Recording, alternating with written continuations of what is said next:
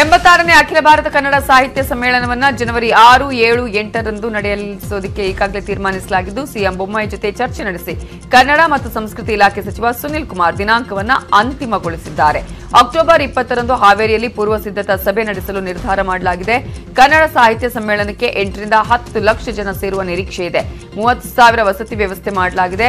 ಪ್ರತಿದಿನ ಎರಡೂವರೆ ಲಕ್ಷ ಜನರಿಗೆ ಊಟೋಪಚಾರದ ವ್ಯವಸ್ಥೆ ಮಾಡಲಾಗಿದ್ದು, ಹಿಂದೆ ನವೆಂಬರ್ ಹನ್ನೊಂದು, ಹನ್ನೆರಡು ಮತ್ತು ಹದಿಮೂರರಂದು ಸಮ್ಮೇಳನ ನಡೆಸಲು ನಿರ್ಧರಿಸಲಾಗಿತ್ತು. ಆದರೆ ಸಿಎಂ ಅಧ್ಯಕ್ಷತೆಯಲ್ಲಿ ಪೂರ್ವಭಾವಿ ಸಭೆ ಮತ್ತು ಸಮ್ಮೇಳನಕ್ಕೆ ಅಗತ್ಯವಾದ ಸಿದ್ಧತೆ ಆಗದ ಕಾರಣ ಈಗ ಸಮ್ಮೇಳನವನ್ನ ಮುಂದೂಡಿಕೆ ಮಾಡಲಾಗಿದೆ.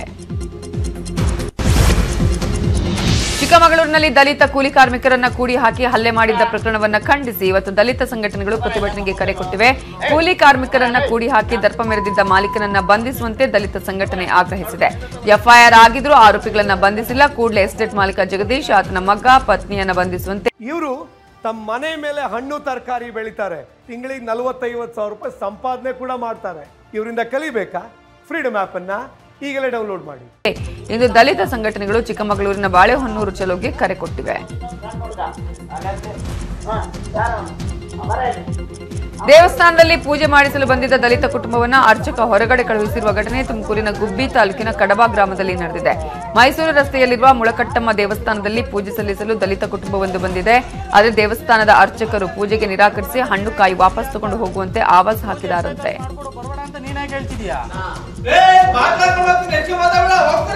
ಆಯ್ತು ತಡಿ ಬಾಕ್ಲು ಹಾಕ್ಸ್ತಾರೆ. ಹಾಕ್ಸ್ತಾರೆ? ತಡಿ. ಏನ್ ಹೇಳು? ಯಾಕೆ ಬರ್ತಾರೆ? ಸುಮ್ಕರ್ರಿ ಸುಮ್ಕರ್ರಿ. ತಗೊಡು.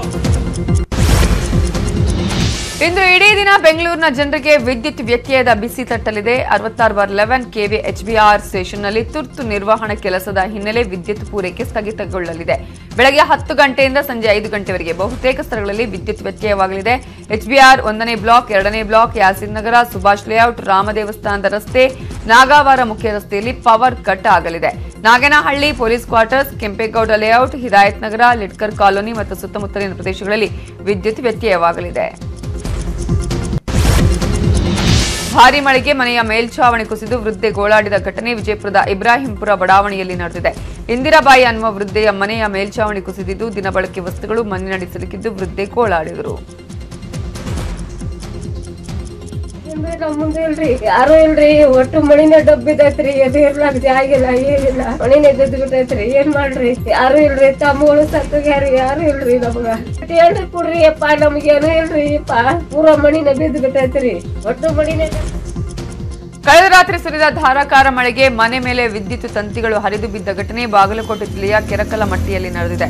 ನಾಗಪ್ಪ ಕಬಾಡದ ಅನ್ನುವರ ಮನೆ ಮೇಲೆ ವಿದ್ಯುತ್ ತಂತಿಗಳು ಬಿದ್ದಿದ್ದು ವಿದ್ಯುತ್ ಸಂಪರ್ಕ ಕಟ್ಟಾಗಿದ್ದರಿಂದ ಅನಾಹುತ ತಪ್ಪಿದಂತಾಗಿದೆ.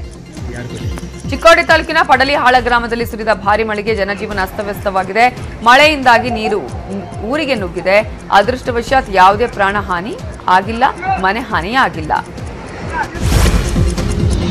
ಯಶಸ್ವಿನಿ ಯೋಜನೆಯನ್ನ ಪರಿಷ್ಕರಿಸಿ ಸಹಕಾರ ಇಲಾಖೆಯ ಮೂಲಕ ಮರು ಜಾರಿಗೊಳಿಸಿ ರಾಜ್ಯ ಸರ್ಕಾರ ಆದೇಶ ಹೊರಡಿಸಿದೆ.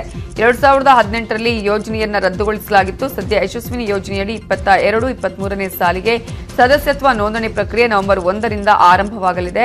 ಯೋಜನೆಯು ಯಶಸ್ವಿನಿ ಸಹಕಾರಿ ಸದಸ್ಯರ ಆರೋಗ್ಯ ರಕ್ಷಣಾ ಟ್ರಸ್ಟ್ ಮೂಲಕ ಅನುಷ್ಠಾನಗೊಳ್ಳಲಿದ್ದು, ಸಹಕಾರ ಇಲಾಖೆಯ ಪ್ರಧಾನ ಕಾರ್ಯದರ್ಶಿ ಈ ಟ್ರಸ್ಟ್ನ ಅಧ್ಯಕ್ಷರಾಗಿರುತ್ತಾರೆ ಈ ಯೋಜನೆಯಡಿ ಯಶಸ್ವಿನಿ ಜಾಲದ ಆಸ್ಪತ್ರೆಗಳಲ್ಲಿ ಒಂದು ಕುಟುಂಬ ಐದು ಲಕ್ಷದವರೆಗಿನ ವೆಚ್ಚದಲ್ಲಿ ನಗದು ರಹಿತ ಚಿಕಿತ್ಸೆ ಪಡೆಯಬಹುದು ಯೋಜನೆಯ ಅನುಷ್ಠಾನಕ್ಕೆ ಬಜೆಟ್ನಲ್ಲಿ ಮುನ್ನೂರು ಕೋಟಿ ಮೀಸಲಿಡಲಾಗಿದೆ.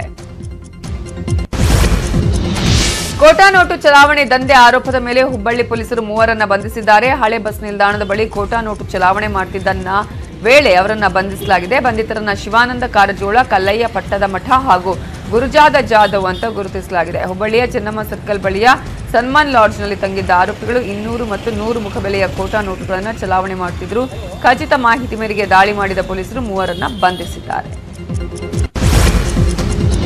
ಪ್ರೇಯಸಿ ಜೊತೆಗೆ ಪತಿ ಪ್ರವಾಸಕ್ಕೆ ಹೋಗಿದ್ದ ವಿಷಯ ತಿಳಿದು ಮನನೊಂದು ಪತ್ನಿ ಆತ್ಮಹತ್ಯೆಗೆ ಶರಣಾಗಿದ್ದಾರೆ. ಈ ಘಟನೆ ಚಿಕ್ಕಬಳ್ಳಾಪುರ ತಾಲೂಕಿನ ಹೆಣ್ಣೂರು ಕದಿರೇನಹಳ್ಳಿಯಲ್ಲಿ ನಡೆದಿದೆ. ಇಪ್ಪತ್ತು ವರ್ಷದ ಮೋನಿಕಾ ನೇಣು ಬಿಗಿದುಕೊಂಡು ಆತ್ಮಹತ್ಯೆ ಮಾಡಿಕೊಂಡಿದ್ದಾರೆ. ಎಂಟು ತಿಂಗಳ ಹಿಂದೆ ಚಿಕ್ಕಬಳ್ಳಾಪುರ ತಾಲೂಕಿನ ಪ್ರಶಾಂತ್ ನಗರದ ಭಾರ್ಗವನೊಂದಿಗೆ ಮೋನಿಕಾ ಮದುವೆಯಾಗಿತ್ತು. ಪತಿ ಹೆಂಡತಿಯನ್ನ ತವರು ಮನೆಗೆ ಕಳುಹಿಸಿದ್ದ, ಈ ವೇಳೆ ಪ್ರೇಯಸೊಂದಿಗೆ ಸುತ್ತಾಡಿ ಪ್ರವಾಸಕ್ಕೆ ಕರ್ಕೊಂಡು ಹೋಗಿದ್ದ. ಅಲ್ಲದೆ ಪ್ರೇಯಸೊಂದಿಗಿನ ಫೋಟೋವನ್ನ ಹೆಂಡತಿಗೆ ಪತಿಯೇ ಕಳಿಸಿದ್ದ ಇದರಿಂದ ಮನನೊಂದು ಪತ್ನಿ ಮೋನಿಕಾ ಡೆತ್ ನೋಟು ಬರೆದಿಟ್ಟು ಆತ್ಮಹತ್ಯೆ ಮಾಡಿಕೊಂಡಿದ್ದಾರೆ. ಮತ್ತಷ್ಟು ಪ್ರಮುಖ